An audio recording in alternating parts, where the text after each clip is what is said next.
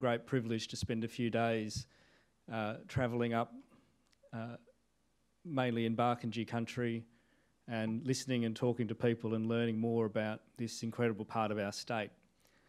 And then last year in November, I had the great opportunity to, to do it all again and, and head out again and um, meet some more people. But this time I started in Brewarrina and, and moved west. And some of the stories that people told were really so extraordinary that they have really rocked me to my core. I, when I first landed in Mildura, somebody said to me, There are too many straws in the glass. People say that this is a complicated issue, but the bottom line is there are just too many straws in the glass. And that story was repeated and repeated and repeated, but the tragedy that unfolded got worse and worse and worse. I remember somebody telling me at Bourke that when they built that pipeline that you heard about uh, from the Murray River to Broken Hill because they wanted to have an excuse to drain Lake Menindee. Um, emus during the drought could smell the water in the pipe, uh, but because they couldn't access the water, they would perish along the length of the pipeline.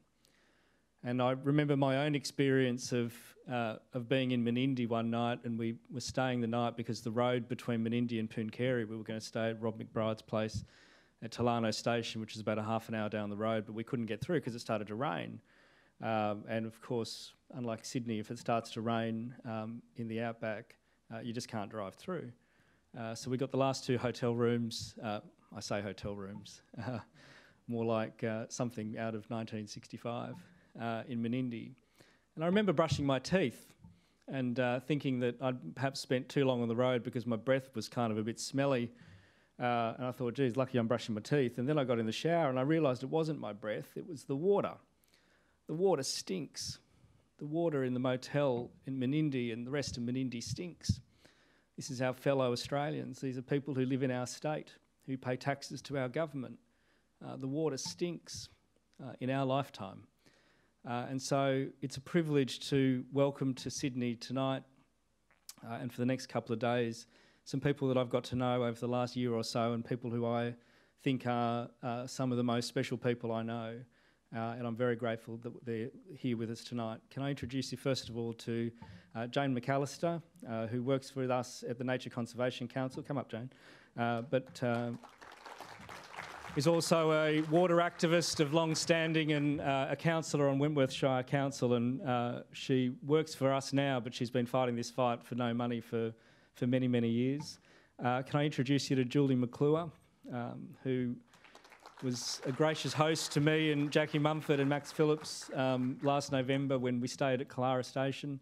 Uh, and we had I was just telling Julie earlier, probably one of the best experiences for me in 2020. And let's face it, it wasn't a high bar in 2020 to have best experiences. But one of the best experiences I had in 2020 was to, to swim in the Baaka River uh, at Julie's property at sunset. And uh, it is really one of the most special places, I think, in, in Australia. Uh, can I introduce you to Don Stewart, um, who's a member of the Darling River Action Group? You would have seen Don in that film that uh, we produced. Uh, Don took me for a drive um, around the Menindee Lakes, and uh, as we were just remembering a moment ago, I've probably never seen so many kangaroos in my life, and they were all jumping at our at our uh, truck. But um, but Don's been fighting this fight along with literally hundreds of other people um, who care deeply about this area because it's their community, um, and uh, and you know it's been their home for generations. And finally, you saw him in both the films, uh, and he's a real great champion, probably well known to you all already um, but a great champion from the, for the Baaka River, Rob McBride uh, from Tolarno Station. I want to um, uh, add my acknowledgement uh, of Gadigal country that we're on tonight, but also especially pay my respects to uh, Barkindji um, and uh, the, the, the, owners of the, of the Baaka River. Um, we were supposed to have with us um, a couple of others. We were supposed to have uh, Derek Hardman, who's the uh, chief executive of the Barkindji Native Title, Title Corporation, uh, and uh, Uncle Badger Bates. Um, but you'll understand that in a in a very difficult time, they had to make the tough choice not to come to Sydney because uh, it was just, in their view, a little too risky to to come now that we've had another community transmission of COVID. Um, but I believe we're going to be able to get Badger on the video. Is that right, Max? No, we haven't got him at the moment. Um, but I want to welcome you all uh, tonight and, and welcome these guys to Sydney. We're, we're going to go to Parliament tomorrow. Uh, we're going to have a press conference under the Tree of Truth and uh, tell the story of the um, of the Baaka and the Menindee Lakes, uh, and then we're going to don our visitor passes and go and knock on every politician's door that we can find, including we heard recently the minister's door this, um, tomorrow. So that'll be an interesting meeting. Um, but just in the few minutes we have left, I thought we'd just uh, take any questions that people have got, any sort of reactions to the films that you've just seen tonight. Uh, you got these guys, and we've brought uh, these guys to Sydney because we just think that this is a story that needs to be told in Sydney. Because uh, geographically, um, the region that is affected doesn't have enough, uh, there's just not enough people who live in the region um, for it to be an important enough issue on the political radar of New South Wales. And, and the way that we can change that is by people like yourselves coming um, and hearing the story and hopefully telling the story to, to many thousands of other people in Sydney. And that's really the goal of our trip um, over these next couple of days. But does anyone have a question for our panel? But while you're thinking about your questions, I might just get you to kind of do a little 60 second introduction about yourselves and talk about why you're here. Does that sound right? No, here's a mic.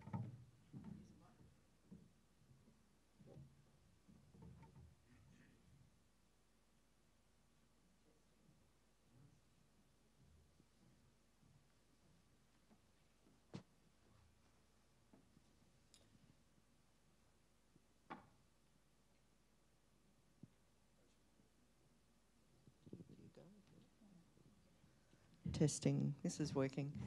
Hello, everybody. I'm Jane McAllister. I'm a, um, as Chris said, uh, been with Nature Conservation Council for a year now, and very grateful that Chris came out and saw um, us probably at our worst, actually, um, which was unfortunate for him, but it was fortunate for us because he's taken uh, to heart what he saw and who he met, and uh, we're now working on events like these bringing the story to the city. As Chris mentioned, we are merely 30,000 votes west of Cobar, and um, as you heard on the film, I'm all right, Jack, bugger you all downstream. So I also um, have been on Wentworth Shire Council uh, for the past five years, it seems like longer. Um, and uh, that in itself has been a bit of a battle, but it's also been an excellent platform to raise the issue of the water uh, with a, a, stronger voice.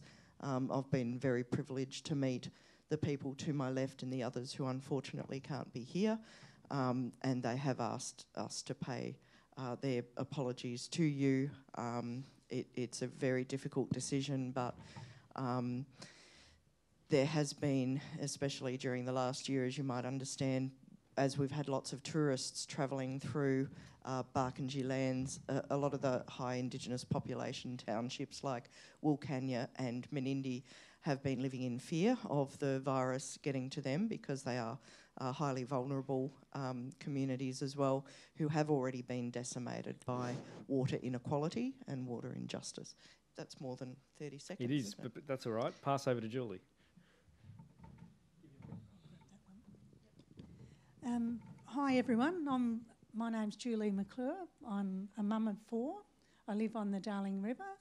I met someone tonight that has been to our place, um, aside from you, Chris.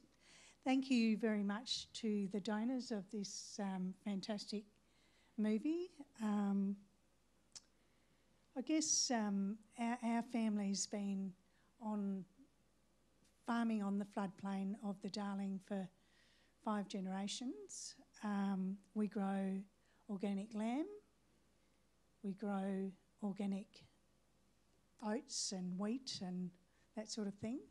Um, we are irrigators on the Darling, um, which is a pretty tough gig at Tilpa. Um, in the past little while, we've had to cart water to friends and family from our property because they live on the Darling and they don't have any water. It makes us pretty sad to think that um, what was once a magnificent waterway and, and the lifeblood of Western New South Wales is nothing but a bunch of puddles, and at times it is luminous green. And you're right, Chris, it does stink. Thanks, Thank. Julie. Don. I hope this is working. Can you hear me? Thank you. Well, thank you all for coming tonight. Um, there's been a few of us fighting for a long time to try to get this to air, and we've been battling very hard. And thank you very much to Nature Conservation through bringing us here and making the film available for you people to see and witness. And I surmise that you were pretty disgusted with some of the, you know, scenes you saw of the devastation and the absolutely pungent Green River. Well, if you were shocked by it, you can imagine the way we feel because we live with it. I mean, you've only had to sit and bear it for a very short period of time.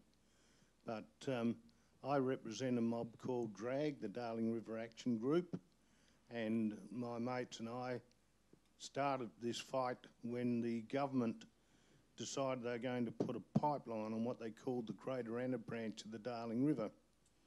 Because once they started to do that and we saw the plans that they'd drawn up, we realised that it was nothing but total corruption and, excuse the expression, but absolute bastardry by the government. And that bastardry has continued to this day. And if anything, it's getting worse and worse because they're getting away with it. So it's up to people like yourselves, if you can, to spread the word and help us with the fight so we can try to restore some sanity back into the river system and the lake system to the benefit of a whole lot of people. So thank you very much for your attendance. Thanks, John. Okay, ladies and gentlemen, I'm Rob McBride. Um, I spoke to Uncle Badger this afternoon. I said, uh, you know, respected that you couldn't come, and he's like a brother to me. And uh, he just said, look, pass on the message, Robert, that doesn't matter what colour you are. The fact is, the people from Sydney should start to listen to the people of the Darling Baaka, and that we respect our river system. Doesn't matter who we are, and that's why it's great that you all turned up here today, and you're listening to what is going on. Chris and his team uh, Nature Conservation Council is trying to get the message out to the city people. Um, ladies and gentlemen, as Jane touched on, there's not many of us out there. Um, my farming, family's been farming for 170 years. We respect the Barkinji in every regard. Uh, their communities are dying. The average life expectancy in Wilcannia for an Aboriginal uh, woman is 42, 37 for males. You've got a third world nation in New South Wales, and your government is allowing this to happen. So I'm apolitical, but we need change, and that's why Chris has got his team together and got us together, hopefully tomorrow, to start and continue on uh, telling what's going on to the reality in the outback because your rivers are dying, and when your rivers are dead, there's nothing for you left. And I please beg you to start looking into this more and more seriously. Talk to family, make it the fight going forward. Thanks time, Chris. Thanks, Rob. So uh, Carl's over here with a microphone. Has anybody got a got a question to open us up with? A fellow up the back there. Yeah, I can just speak loudly, probably. I just think there are a lot of people put in their whole evening to something pretty extraordinary. And we've just found out how extraordinary it is. I didn't cry.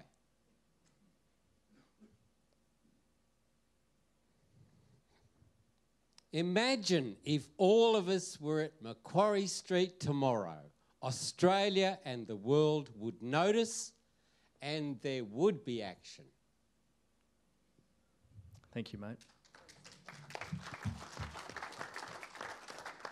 Any other questions? Yeah, f- to fill up there. just thought I'd ask about they mentioned in the video, you know, about having a royal commission. I was just wondering whether you guys think that really make much of a difference since we know that our government really doesn't care about royal commissions about anything nor anything else proposed about their corruption.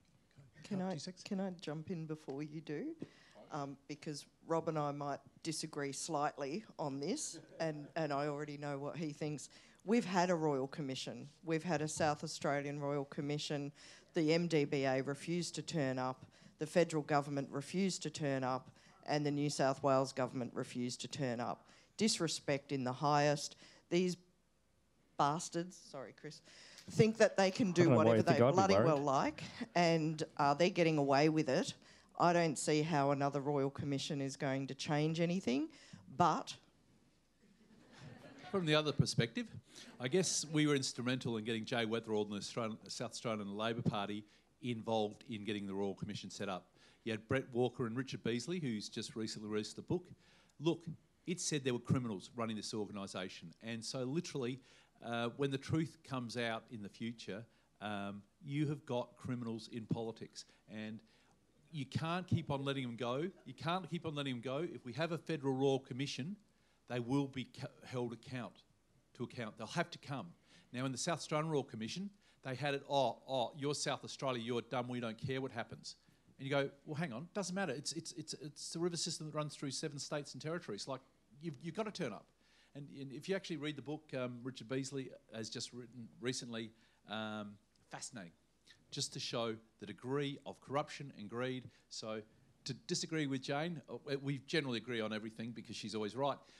But, as I said, but realistically, we do need a federal commission. We do need the bastards in front of a judge. In a royal commission, you've got to say the truth. And the politicians in Parliament House can say whatever they want and get away with it. That's the difference. Thank you. Thanks, Rob. Other questions? Yeah, up the back there. Hi, I just wanted to um, ask if there's been any politicians that have been out to talk to the locals at any point along the river. Oh, sorry, can you hear now? Yes. Um, I just wondered how many politicians, if any, have been out to talk to community and seen for themselves what's going on. Great question. Um, we certainly had had a very small spattering of politicians come out, but they come out with blinkers and earmuffs, and they make sure that they get a guided tour on what they want to see, not what the truth is. And we even had the disgraceful thing from Berry, Berry, Berry Jekyllin the other day. She came out and she thought it was wonderful because they released a few thousand fingerling fish into the Darling River and then advertised over the news for you all people to see the healthy state of our rivers. Well, you've just seen the truth of the healthy state of the Baaka, and that's what she reckons is good. Can I say there, there have been some good ones? Um, I, I disagree with everybody. Um, Kate Faehrmann's come out a lot. Um, basically, Justin Fields has come out. Um, Chris Minns, your next premier. He came out, okay, well, we can agree to disagree. He came out about five years ago when he was opposition water minister, and he said, Robert, this is really confusing. And I said, it's not. It's, it's really easy. There's water up there. It should be down here. Let's work it through. He is a great ambassador for water. So, look, we're talking to a lot of people tomorrow. Senator Rex Patrick, uh, Jacqui Lambie's coming up in the near future. So we've got some heavy hitters out there. Sarah Hanson Young's coming up there.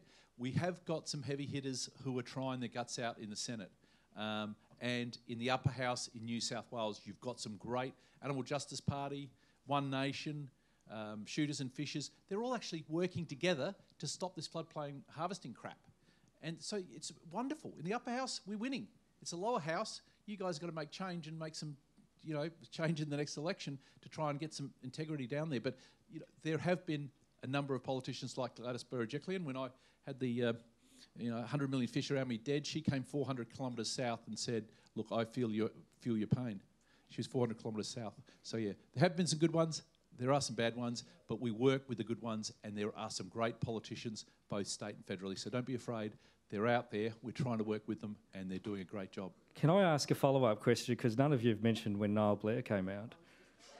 Can we, can we hear that story? There, w- there was a famous, and, and it was around the time that uh, Rob was holding that um, really nasty cod, and, and there were far too many of them. It, w- it was really confronting. Um, I was up there too. Um, I think we all were. You were there too, weren't you? We were all there to witness that. And Niall Blair came out in a boat surrounded by police officers because there'd been a death threat, and he whizzed past and I don't know whether he did it on purpose, but in the act of whizzing past, all of these dead fish kind of, yeah, if, if I had a scratch and sniff thing now, we'd all just be going twice. Yeah, he, he did it twice. I um, actually made a comment when he did that, and it was filmed or recorded by the ABC. And as far as I know, it was only ever shown once. And that was as he went past in the boat and wouldn't stop to talk to us. I said, Well, now I know there's two yellow bellies on the Darling River. the poor buggers that are dying, and the bloody prick that's in the boat that just went past and stunk us out. Good one, John. Chris, could I, could I, Chris, could I just say one thing? We're getting back to that Royal Commission, Niall Blair, this is going back a few years ago, I caught up with him at a Water Ministers meeting. And so I can say these things because I said under the Royal Commission, so he can't sue me for saying it. I remember seeing him, walking up to him, and two big gorillas, about 15 foot tall, stood beside him. And I said, Hey, Niall, how are you going? Good, thanks, Rob. He said, We're not watching anything you're doing. We watch fucking everything you do. I get a report on my desk every day of what you do. And if you fuck up, we're going to get you. Now, I said, That's funny coming from a New South Wales water minister. I'm a farmer. If you like watching sheep and herding sheep, that's fair enough. But I got to say that in a Royal Commission, so Niall Blair can't listen to this conversation and say, I didn't say that. Because Niall, it's in Hansard now, you moron. so that's just where a Royal Commission can help. Because you can say the truth, you've got to swear by the truth, and if it's the truth, then screw him down the track because there will be justice for the river eventually, hopefully. Thank Thanks, you. Rob. Sorry. for Gentleman swearing. over here in the red.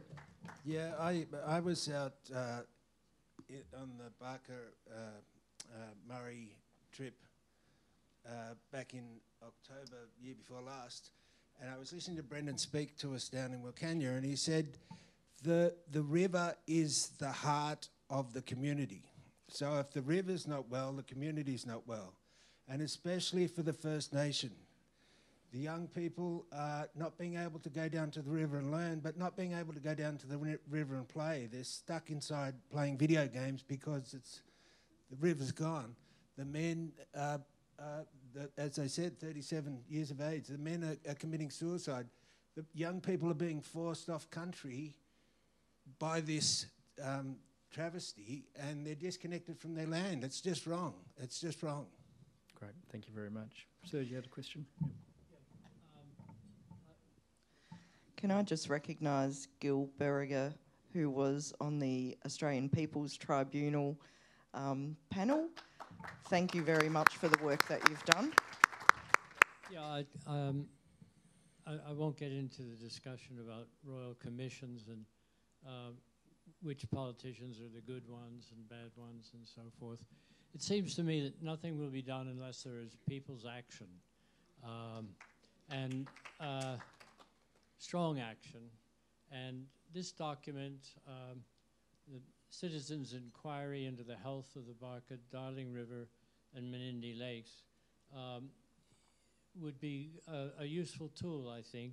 Uh, much of what this marvelous film has uh, has covered is is also in here because what we did uh, over two weeks, we traveled from basically from Wentworth up to Walgett uh, through Menindee, um, and we spoke to the people. We wanted to hear what the river people had to say uh, about what was being done to them.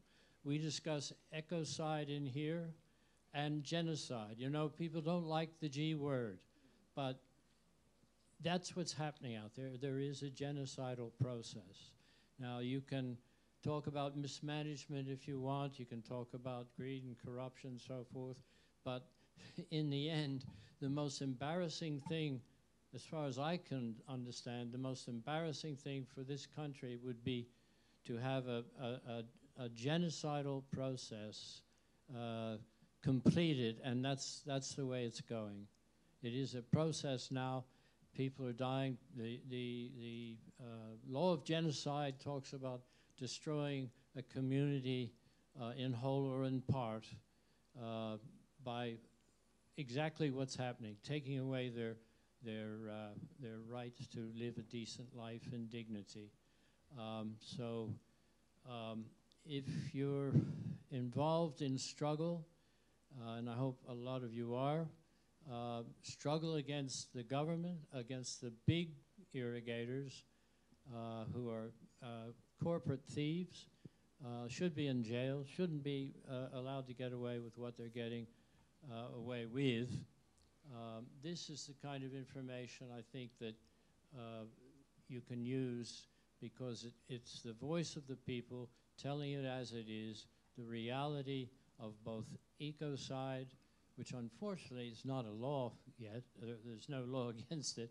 Uh, and that's, that's something that there should be introduced in this country and in this state. Um, anyway, uh, Jane you. and I uh, will be uh, circulating some of these uh, for the people to see tomorrow, I guess. Um, but if you want a copy, um, I can I can uh, send it to you. Just need to get my email. If you want to see me afterwards, that's fine. I'll Great. Be Thank happy you so much. Thank you so much. for you. Just uh, the gentleman there in the blue. I can't quite read what your T-shirt says, but I think it says Darling River on it. Darling River Action Group. There you go. Yeah, uh, uh, the, the previous Darling River Action Group. Yeah, uh, the, the lawyer on, in the uh, film Emma Carmody was talking about illegal actions. Now, there's a water New South Wales has a Water Management Act 2000, and the first priority in that act is water for the environment. Then you get towns and uh, towns, cities, uh, you get stock and domestic, and the ver- very last priority is irrigation. And it's not, it doesn't work that way. The first priority is irrigation. And the, the whole bureaucracy has been set up to help the irrigators. Uh, uh, they- some of them are trying to change now, but that's how it worked. The bureaucracy was there to look after the irrigators, and the ministers are there to look after the irrigators. And uh, it's, it is illegal. The whole thing's been run in an illegal manner against their own law. New South Wales Water Management Act. Yeah, thanks very much. Well, well said. Yeah, Might just take the last- Um, can I just butt Yeah, in there? on, sure. Um, it- look, it, it really isn't um, equitable and it's not fair. Um, the, the, there's a thriving ir- irrigation industry up in the north, and probably New South Wales' biggest problem is what's going on in Queensland. So I know that the minister has been trying her darndest to uh, speak with her counterpart in Queensland for a couple of years now and, and really hasn't made gained much traction. So that's a problem in itself, isn't it? You know, we have a water minister that won't talk to a water minister, um, as we saw with that fiasco um, at Minco. Look, we, we just must share the water resource much better than what we are now. Our current management practices, our current policies, we really are risking the ecology that we have. Thanks, Julie. And we're going to take the last question over here. How many big irrigators are there? And are they mas- mainly offshore? Somebody want to answer There's that? a. Did, did you want to? Um, uh, there's a number of onshore ones. Chris Corrigan, uh, Webster's. Uh, there's about two big blighters who I know very well because they threaten me pretty regularly. So there's a basically a large um, Chinese investment in water, a Canadian investment in water. But that's the problem in, in New South Wales. They refuse to get a register. They say, oh, you know, Melinda Pavey says it's too confusing. Well, if you can't put a register and you've got no idea how much water you're pulling out, how the hell are you going to solve it? Oh, well, we're still talking about it. So realistically, smoke and mirrors. To, so to answer the question, probably five or six really big, huge organisations um, and foreigners, but we just don't know for certain because there's hands in a lot of pockets. But we do know that you've spent $8 billion and not one drop's come down the river system. Um, that's the type of money we've, you've given to them. yeah. yeah, there's there's a lot of bureaucrats in lots of offices, um, but it hasn't increased the amount of water to us. Yeah, that's right. Um, and and also the the concentration of licenses um, over time has meant that the people who are profiting, and let's be clear, every Australian taxpayer, a percentage of those taxes is going to the MDBA. So this this this impacts every single Australian, not just those that live in the Murray-Darling Basin either. We're all getting ripped off. We're just got. We're, we're going to be able to. People can have a chat to these guys after the event. We'll we'll stick stick around for a little while. Um, but I'm just going to take two final questions. A fellow over here, and there's a woman up here who's been asking, waiting for a while. yeah. I mean, I'm just wondering if, if the, uh, what used to be called our public broadcasters have been approached and are going to show this. And in the necessity of getting the message of, across, as you all emphasised, is huge and we know that. I've been following it for a long time, but basically we do need to know what this film has told us. Thank you all for it. Yep. But basically, is there any chance that the, that the ABC or the SBS will show that? Have they been approached? Can I answer that one? Um, uh, I don't know if they've already been approached, but certainly uh, we're trying to get this film and as many other films about the region as we can uh, circulated as far and wide as we possibly can. And you've sort of stolen my thunder for the, the close. But one of the things I was going to say is if you've got a community that is, if you can assemble a group of people who'd be willing to see it, um, you know, we'll organise to to get it down and, and bring a speaker or whatever you need. Like if you know, if you, in your suburb you can sort of get a room or something and um, and get a few people who are prepared to, to sit down and watch it. No, no cost or anything like that. Um, what we want to do is just get in front of as many crowds in Sydney as we possibly can. Um, so tomorrow, for example, we've got a bunch of um, civic leaders through the Sydney Alliance that we're going to meet with, uh, in the hope that some of the church groups, some of the trade unions, some of the other groups around Sydney um, will host a similar type event. Obviously, not with guys from the far west all the time because it's a long way to come. Um, but with the film and with uh, with somebody who can talk about the issue because we, we really do need to get this word out.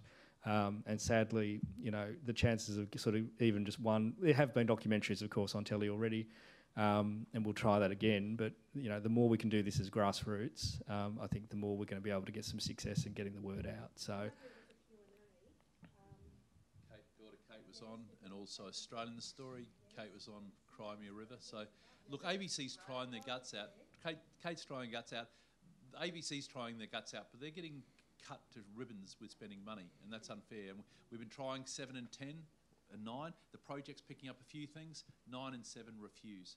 Because there's a number of executives from Channel 9 who made vast amounts of money. We won't mention names, but isn't it convenient how, I won't mention names because I don't want to get sued, but how people in high positions in these broadcasters made vast amounts of money. And if the public of Australia actually knew, they'd be very embarrassed. So they don't want the story getting out. And, and so and and that's that's that's one and and and then there's another so you might remember the um, ABC show Pumped the Four Corners episode that came out so since then there has been an active um, political movement to defund the ABC essentially because those uh, who who are pulling the strings don't want the truth out there. So this is this is what we're up against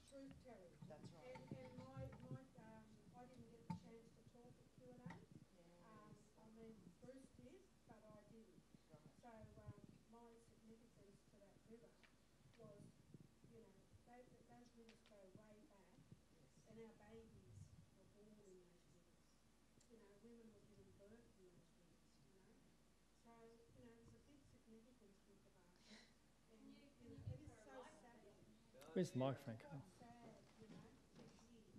it is absolutely agree. Um, yeah, you know, and I got the, I, I, I was hoping to get the chance at Q and A to talk, but here's my platform tonight. So, you know, I just want to say that it was very sad. Um, I did go on that river run, and I did see. I walked on those beds, and I know, you know, it's it's it's it's very um, it's very emotional, and to see families that are living out there and breathing breathing out there that it, you know it's where's the humanity? Where's the human you know and and it's also the health. You know i know my daughter went swimming out there ended up with a lot of sores through swimming in those rivers. So you know and i don't know what made her possessed her to go in the rivers but anyway she did it. Um, she brought it back with her um, so you know it is very sad and i've seen it for myself and i know what you guys are you know where you're living. So it is, it's, it's a very sad journey. Thank you so much, and thanks for being with us tonight. There's a Yeah. person who's been very patient. That's good. That was all really good stuff. I, I was actually out on the on the Yaama Ngunna Baaka tour with, with these guys that have been talking about that um, in um, was that like October, like nearly two years ago? Two years ago?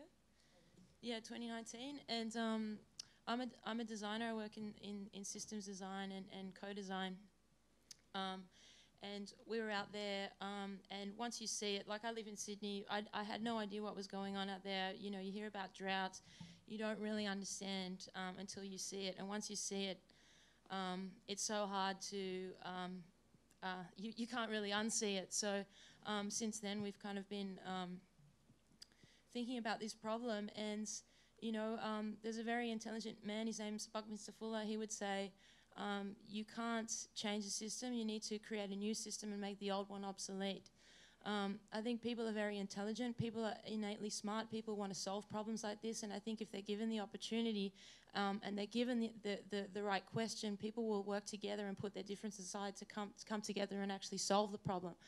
Um, I've been doing a lot of work on these, um, this 2019 um, Citizens Inquiry.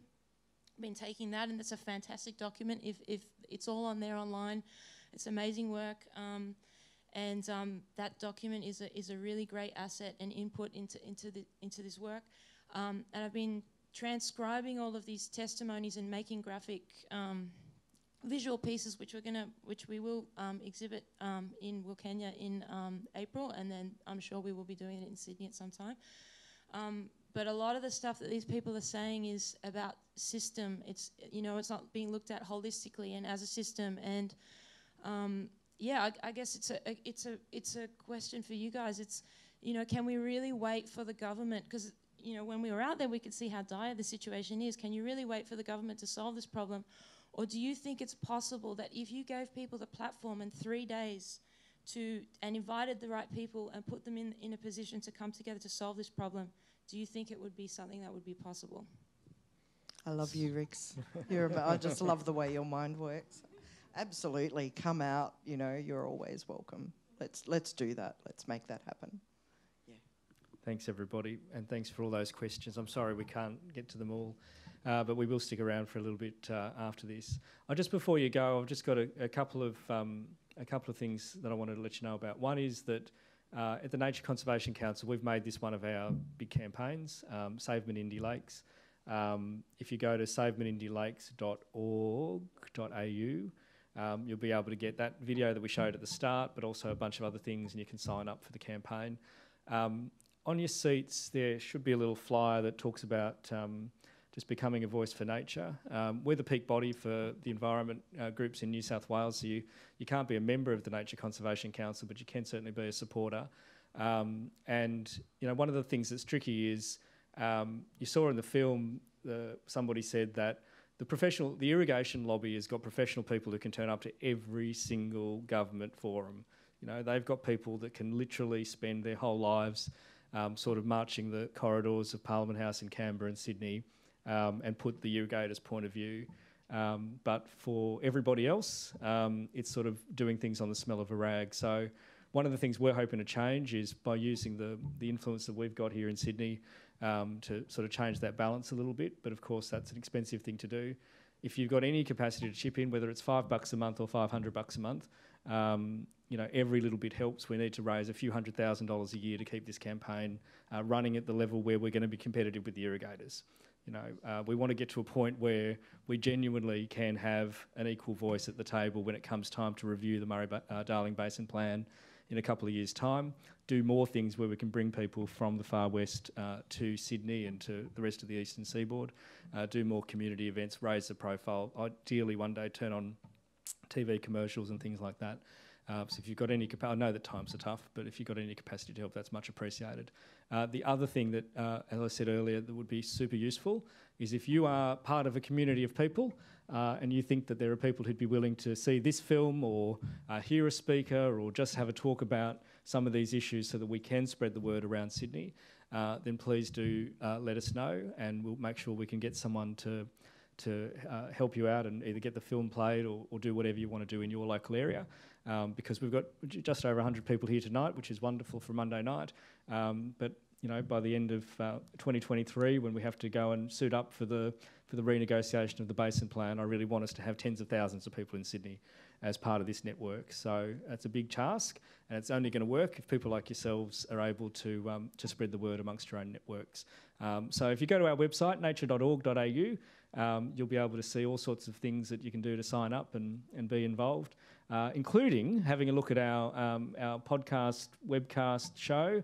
Um, the second episode of which I think was featuring Rob and Jane, where we talked about uh, some of the issues down the river. So um, hopefully you'll you'll get some more stuff to mull over there. I want to thank you all for being here tonight. Uh, I want to thank our four delegates from from the west.